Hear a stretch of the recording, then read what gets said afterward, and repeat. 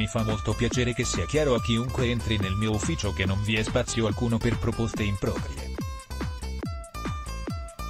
Sono le 8 del mattino quando l'assessore all'urbanistica del comune di Milano, Pier Francesco Maran, scrive su Facebook a questa frase.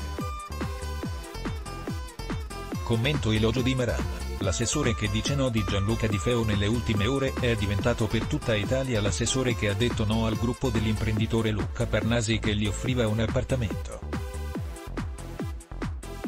La vicenda è emersa dalle intercettazioni fatte durante l'inchiesta che ha portato ai nove arresti per il nuovo stadio della Roma.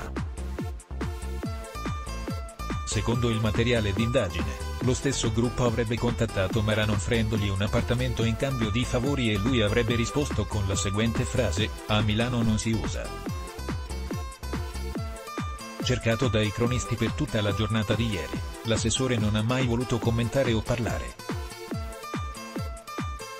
Poi in un'intervista video ha spiegato che, in realtà, gli emissari del gruppo romano non hanno avuto modo di comportarsi in maniera irregolare, hanno respirato subito il clima per cui in un ufficio come il mio non si possono fare richieste improprie.